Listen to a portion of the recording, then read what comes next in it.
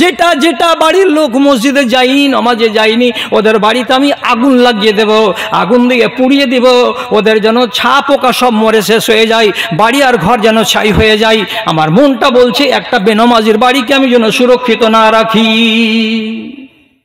কি বলছেন রসুল? লাকাদ হামাম তো আন আমুরা আহাদান ইউসাল্লিবিন্নাসে আমার মনটা বলছে, আজকে আমি জোহরের ইমামতি করব না।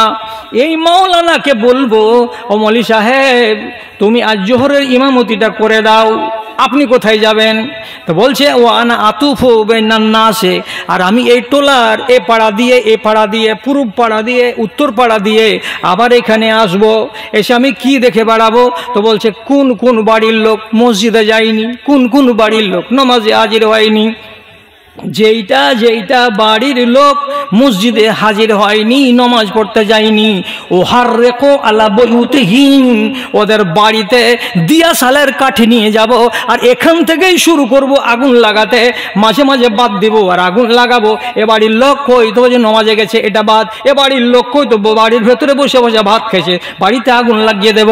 যেটা যেটা বাড়ির লোক মসজিদে যায়নি, নমাজে যায়নি, ওদের বাড়িতে আমি আগুন লাগিয়ে দেব।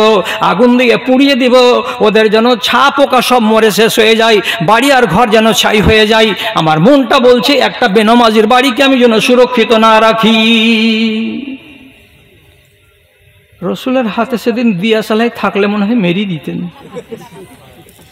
কিন্তু আল্লাহ পাকার রসুল শুধু বইলে রেখে দিলেন, আমার যে করছে যে আমি আগুন জ্বালিয়ে দিই। কাদের বাড়িতে? যে লোকেরা নমাজ পড়ে না তাদের বাড়িতে। এখন আগুন তো লাগাননি রসুল। তো নমাজ ছাড়া লোকের উপরে রসুলের আক্রোশ কত বেশি এবং ক্রোধ কত বেশি যে তার বাড়িতে আগুন লাগিয়ে দিতে চাইছেন? আল্লাহ, আপনি নিজের হিসাবটা করেন তো।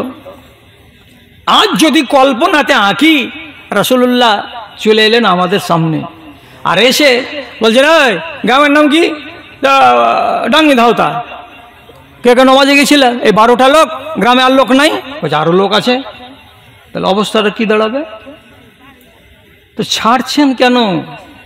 আর কথা নয় রসুল্লাহ এক রাতে আসমানের সফরে গিয়ে এক গাদা দৃশ্য দেখেছেন। দেখতে দেখতে দেখতে দুনিয়াতে এসে বললেন, শেষের বেলা জিজ্ঞেস করা হলো, আমি একটা লোককে দেখতে পেলাম আসমানে আজকে, আসমানের সফরে গিয়ে। দুশ্মন মানুষ, জাহান্নামি মানুষ, আর মাথাটা একবারে এই বড় মাথা।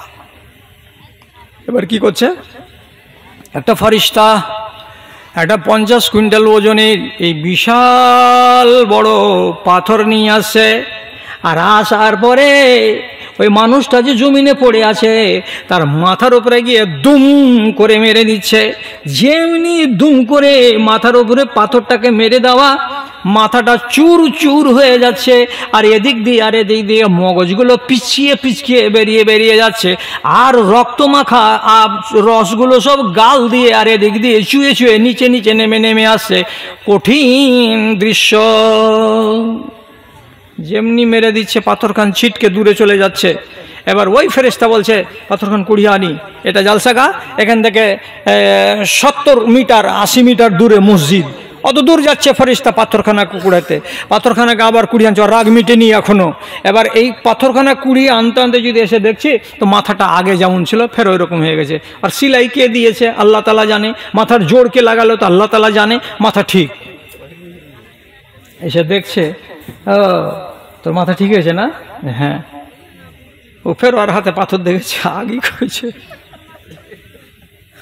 মারবে, ও তো জানে যে ফের দিবে। বেচারি কাতুকুতু করতেছিল আবার দুম করে পাথর মেরে দিল। যেমনি পাথর মেরে দেওয়া, মাথাটা একবারে থেতলিয়ে যাচ্ছে চারিদিক থেকে, পিচকে পিচকে মগজগুলো বেরিয়ে যাচ্ছে। তামাশা চলতেই আছে, তামাশা চলতেই আছে। রাসুল্লাহ বললেন, জিবরিল, এ মানুষটারও অপরাধটা কি? কিসের জন্য একে এরকম করে আজাব দেওয়া হচ্ছে? আমাকে জিবরিল বললেন, এই লোকটা সেই লোক, যে লোকটা কোরআনের কথা জানি, কিন্তু কোরআনকে সে মানেনি। আর একটা রোগ হলো কি? ফারিজা নমাজকে আদায় করেনি, ছেড়ে দিয়ে বাড়িতে বসে বসে ফুকুর ফুকুর বেড়ি ফুকিয়েছিল। এই মানুষটার উপরে আল্লাহর এত রাগ, যার কারণে তাকে কেয়ামতের দিন যে নিযুক্ত করা হয়েছে ফারিস্তাকে, আজীবন আজীবন অনাদি অনন্ত কাল ধরে তার মাথাকে ভেঙে চুরমার চুরমার চুরমার করতে থাকা হবে। ধুমডাঙ্গি লোক, মাথাতে তেল কত মাখছেন আর শ্যাম্পু কত লাগাইছেন? আড়ালে বেটি ছেলে আছে ওটাকে জিজ্ঞেস করেন, কত কালো কালো, চুল কালো করার তেল লাগাইছে, এত সুন্দর মাথা, তোমার সুন্দর মাথাকে মেরে বান্দর বানিয়ে দেবে আল্লাহর ফরিস তারা যদি নমাজকে কামাই করে দিয়ে থাকো তো। মাথাতে তেল দিচ্ছ আর চিরনি মারছ, কত সুন্দর, এত সুন্দর মাথাটা বান্দর হয়ে যাবে। আজকে হুঁশ করে দাও আর দিয়ে সাবধান হয়ে যাও। অত কথা বেশি বলার দরকার নেই, সামলাতে পারবেন না।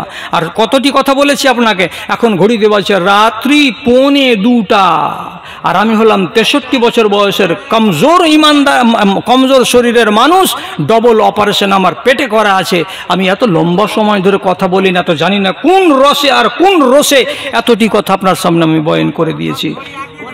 ভাইজান, আমি যেটা কথা বলছিলাম আমার কথা হলো শেষ। জিন্দা থাকা অবস্থাতে নমাজ পড়তে চাইছেন না। আর এক এক মানুষ মরার পরেও আল্লাহ তালার কাছে বাসনা করে বলছে, আল্লাহ নমাজ পড়ব মরার পরেও।